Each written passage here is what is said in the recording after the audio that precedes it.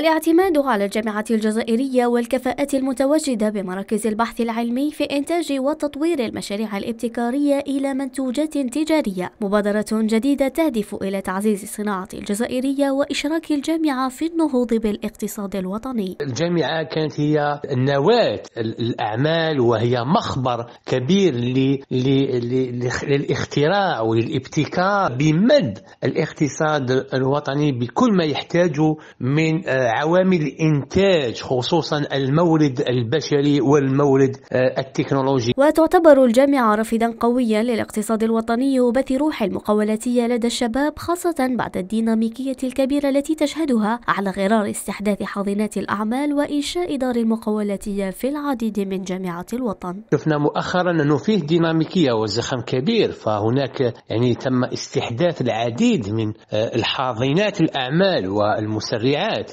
اللي في في عديد من الجامعات آه، آه، الوطنية وشفنا كذلك إنشاء دار المقاولاتية. مبادرات تأتي في إطار انفتاح الجامعة على محيطها الاقتصادي والاجتماعي عبر شراكات مفيدة واتفاقيات بينية مع القطاعات المعنية نظرا للدور المهم الذي تلعبه الجامعة في إنعاش القطاع الصناعي والاقتصاد الوطني ككل.